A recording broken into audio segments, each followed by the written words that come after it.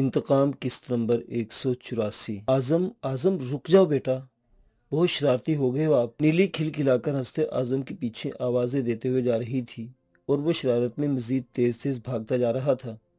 बस पकड़े गए बच्चू। अब नहीं भाग सकते। आखिरकार नीली ने इसे जा लिया और इसकी दोनों बगलों में हाथ डालकर इसे गोद में उठा लिया। वो वो। गोद में आने के बाद इसे नीचे उतरने की कोशिश नहीं की। और उंगली से एक समत इशारा करने लगा। नीली ने देखा वहाँ एक पॉपकॉर्न का स्टॉल था, जहाँ से कई बच्चे भी पॉपकॉर्न ले रहे थे। ठीक है, चलो दिलाते हैं आपको। वो इसी लिए हुई स्टॉल की तरफ़ चली गई। वो लोग इस वक्त एक पब्लिक पार्क में आए हुए थे। सजल के अस्पताल से डिस्चार्ज होने के बाद आज पहली बार आज़म को घुमाने के बहाने बाहर निकाला गया था। वरना अब से पहले तो बस अस्पताल और क्यामगाह के दरमियान ही चक्कर लगते रहे थे। चलो आओ, अब आपकी मम्मा के पास चलते हैं। इतनी देर से वो अकेली बैठी हुई है। पाप कार लेने के बाद वो आज़म को लिए पार्क के उस कोशी में पहुँच गई, जहाँ सजल एक व्हीलचेयर पर बैठी हुई थी। हाँ अब वो व्हीलचेयर पर थी। वो नाजुक ऑपरेशन जिसमें इसकी जान चली जाने का अंदेशा था। इसकी जान तो बख्श गया था, लेकिन निचले धड़ की मजदूरी हमेशा के लिए मुकद्दर हो गई थी। अलबत्ता वो हाल जो ऑपरेशन से पहले ही नाकारा हो चुका था। इसके सिलसिले में डॉक्टर्स ने उम्मीद दिलाई थी कि वो दुआओं और फिजियोथेरापी की मदद से हरकत करने के काबिल हो जाएगा। क्या सोच रही हैं आप? वो सजल के करीब पहुँचे तो इसे अपने आप में गुम पाकर नीली से मुतवजो करने के लिए पूछा। बस यूँ ही तुम्हारी और आज़म के बढ़ने के बारे में सोचते ही थी। तुम्हारा हमारी ज़िंदगी माना हमारे लिए एक नियमत साबित हुआ है। आज़म तुम्हारे साथ इतना मानूस हो गया है कि मुझे इस बात की फ़िक्र नहीं होती कि मैं अपने बेटे की ज़रूरतें ख्वाहिशें पूरी नहीं कर सकती। तुम किसी माँ की तरह ही कदम कदम पर इसके साथ मौजूद होती हो। सच कहूँ तो अब ये मुझसे ज़्यादा तुमसे मानूस हो गया है। सजल ने पॉपकॉर्न खाने में मगन, आज़म पर एक मोहब्बत भरी निगाह डालते हुए जवाब दिया, माँ की जगह कोई नहीं ले सकता। जो कुछ मैं कर रही हूँ, वो तो कोई भी तनख्वाहदार मुलाजमा कर सकती है। नीली ने बेपरवाही से इसकी बात का जवाब दिया फजूल मत बोलो। मुलाजमत खिदमत बेशक कर सकती है, लेकिन इतनी मोहब्बत नहीं कर सकती जितनी तुम आज़म से करती हो।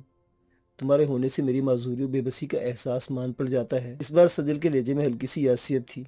इसने अपनी माजूरी को बहुत सब्र के साथ कबूल किया था और अब पूरे वकार के साथ खुद को इसके मुताबिक ढालने की कोशिश कर रही थी। लेकिन एक चलते फिरते इंसान के लिए व्हीलचेयर पर आ बैठना मामूली सदमा तो नहीं था, जिस पर वो उदास भी ना होता।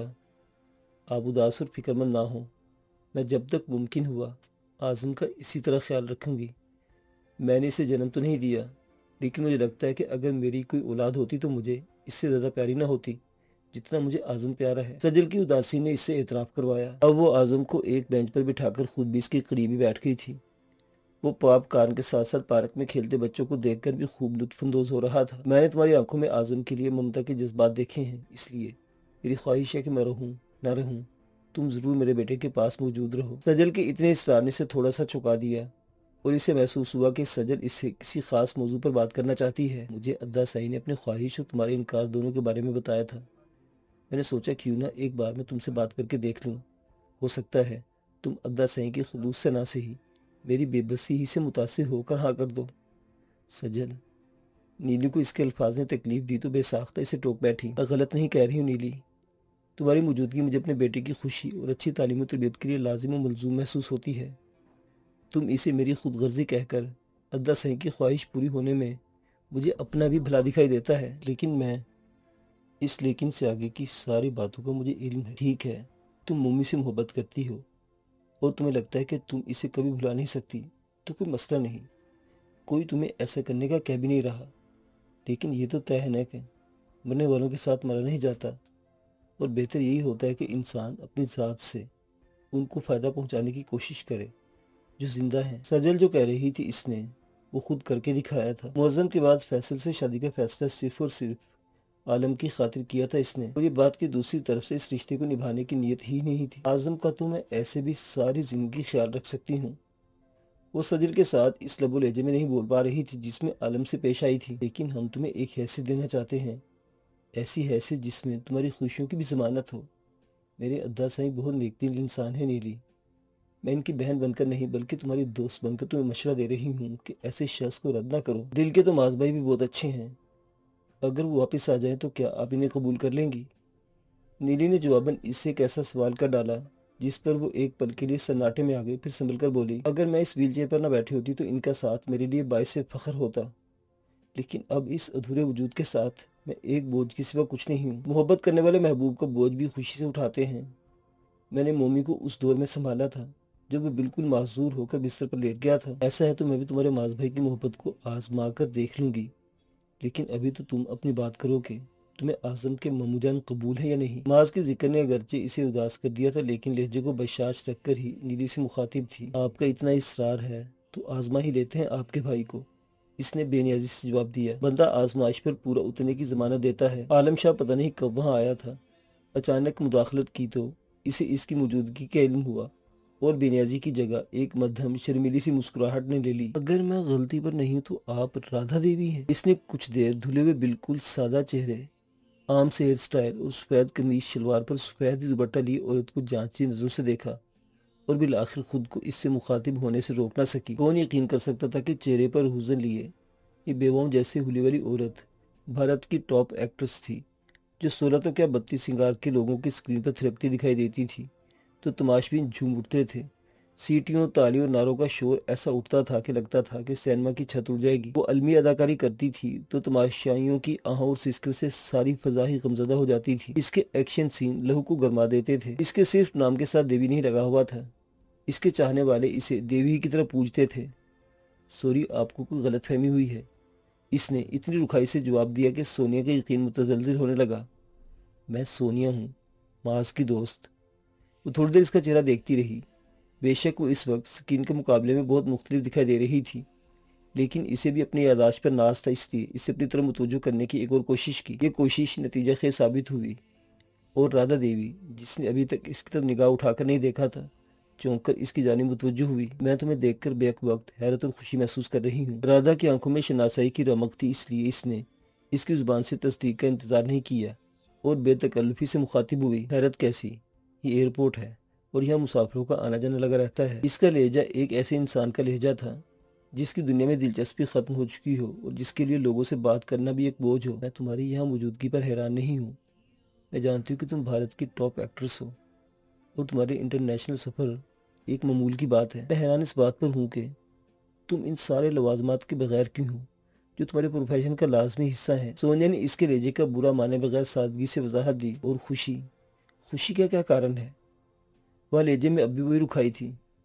वो बस ऐसे ही सोनी हंसती। वो इसे क्या बताती कि इस वक्त इसका दिल किसी टीनेजर लड़की की तरह जज्बाती कैफियत का शिकार है, जिसे महबूब को छोड़कर आने वाली हवा भी प्यारी लगती है।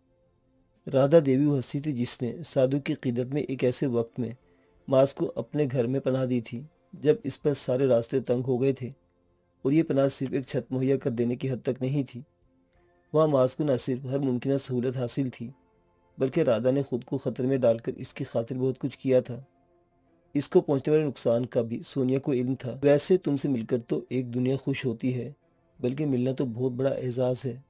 तुम्हारे फैंस तो तुम्हारी एक झलक देखने के लिए एड़ी चोटी का ज़ोर लगा देते होंगे।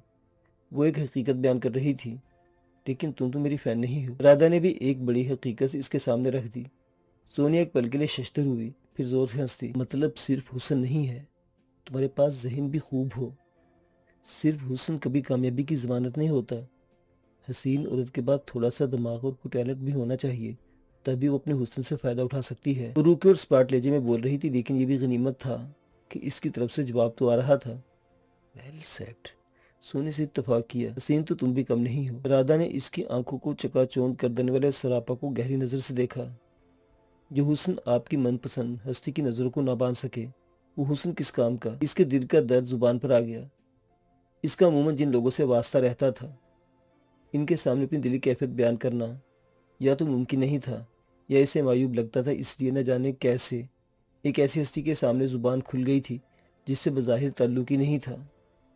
उस मनपसंद हस्ती की नज़रों को बाँध भी ले, जिसके नसीब में हिजर लिखा हो, वो महरूम ही रहता है। इसके लज्जे की करलाहट ने सोनिया के दिल को जकड़ लिया। क्या हुआ है तुम्हारे साथ? इसे बेसाख्ता ही राधा का हाथ थाम कर हमदर्दी से पूछा, मरे थे जिनके लिए?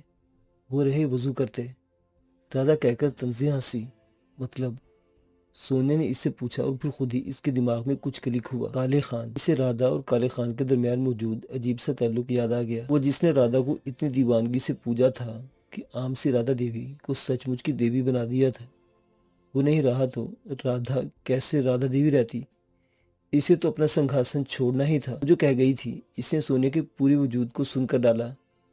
इसने, अगर खुद मैं इश्क न चखी होती तो शायद राधा के जज्बात को समझने में मुश्किल होती। लेकिन अब वो जानती थी कि दुनिया में एक ताकतवर तरीन जज्बा ऐसा है, जो इंसान को अपना सब कुछ दाव पर लगा देने के लिए राज़ी कर लेता है। वो अपनी माँ से बागी हो गई थी। इसने वो सारे अहद तोड़ दिए थे, जिनसे इसे कमसिनी में बांधा गया था। वो इस तरबियत को फरामोश कर चुकी थी, जो इसे इसराइल की खिदमत के लिए बरसों दी गई थी। तो फिर राधा देवी का अपने संघासन को ठोकर मार देना भला क्या हैसियत रखता था? वो इसके मुकाबले में तो खासी आज़ाद औरत थी और अपनी ज़िंदगी के फैसले खुद कर सकती थी। दुनिया इसकी शक्ल सूरत को देखती थी। वो खुद भी मेरे और अपने बीच शक्ल के फ़र्क को लेकर डरता था। और इसके डर ने मुझे कभी दुनिया के सामने अपनी मोहब्बत का एतराफ़ नहीं करने दिया था। उसे लगता था कि मेरी मोहब्बत सिर्फ़ एक आम जज्बातियत या फिर एहसानमंदी है। इसे कभी ये बात समझ नहीं आई कि वो मोहब्बत राधा के साथ पलकर जवान हुई है और खूनी की तरह इसकी रोगों में दौड़ती फिरती है। तुम्हें बताओ, खून को रोगों से निकाल कर भला कोई जिया है? इसने अपनी सुर्ख पड़ती आँखों के साथ सोने से सवाल किया। सोनिया जवाब नहीं दे सकी। इसे भी यकीन जवाब दरकार नहीं था। वो तो बस इसके अंदर का सच था, जो ज़ुबान पर आ गया था। राधा देवी ने फिल्मी दुनिया से रिटायरमेंट ले ली थी। यह खबर तो भारत के हर न्यूज़पेपर और न्यूज़ चैनल ने दी थी, लेकिन राधा देवी जीते जी मर गई। इसकी किसी को खबर ना हो सकी। वो तो उस समय मौत का ऐलान करते हैं। जब ये मिट्टी का ढेर शरीर इंसानों के बोझ से आज़ाद होता है, वो अपने अंदर की घुटन बाहर ला रही थी। और सोने के पास इसके हाथों को थाम कर खामोश दिलासा देने के सिवा कोई हल नहीं था। बाज जख्म इतने गहरे होते हैं कि सामने वाले के लिए इन पर मरहम रखना मुमकिन नहीं होता। फ़िल्म इंडस्ट्री ने बहुत सी शोहरत और पैसा दिया, लेकिन मेरे मन की खुशी तो इसकी खुशी में थी।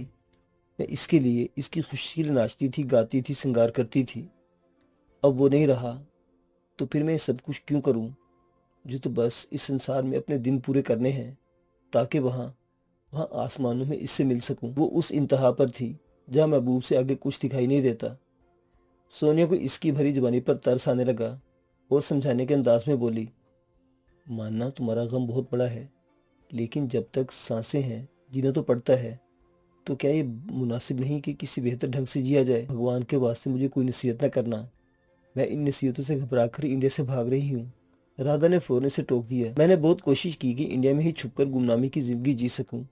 लेकिन यह आए दिन कोई ना कोई खोज लगाता मुझ तक पहुँच जाता है और मुझे समझाने लगता है कि अपने करियर की पीक पर फ़िल्म इंडस्ट्री को छोड़ने का फैसला मेरी बहुत बड़ी नादानी है।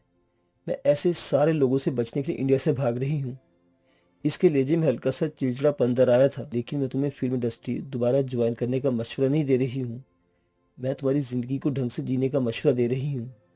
ज़िंदगी को खुद पर बोझ बनाने के बजाय अगर दूसरों का बोझ उठाने वाली बन जाओगी तो तुम्हारा इम्तिहान थोड़ा सा आसान हो जाएगा। इसके नरमी से दिए गए जवाब ने राधा को तोजो देने पर मजबूर कर दिया। क्या कहना चाहती हो? बहुत कमाया है ना तुमने फ़िल्म इंडस्ट्री से। तो अब ये कमाई इन्हें लुटा दो। जो जाने कहाँ कहाँ से बचत करके फ़िल्म के लिए टिकट खरीदते हैं। और दर हकीकत जिनके दम पर ये मिलियन, बिलियंस की इंडस्ट्री खड़ी है, गुर्बत के मारे ऐसे लाखों लोग हैं, जो तुम्हारे देश में जिनकी वाहिद तफरी फ़िल्म देखना है लेकिन जो ज़िंदगी की बुनियादी सहूलतों से महरूम है, कुछ कर डालो इन लोगों के लिए, तुम्हारा सफ़र आसान हो जाएगा। इसने हैरान से राधा देवी के सामने अपनी बात की वजाहत की और सीट छोड़कर उठ खड़ी हुई। हो सके तो मुझे इन सारे लोगों को माफ़ कर देना, जो एक ऐसी जंग के सिपाही हैं, जो हम पर ज़बरदस्ती मुसलत की गई है और हमारी खातिर तुम भी जिसकी जद में आ गई हो। राधा के कंधे को ऐसा से छूकर इसने कहा और इसके जवाब का इंतज़ार किए बगैर चल पड़ी। इसकी फ़्लाइट का ऐलान हो रहा था।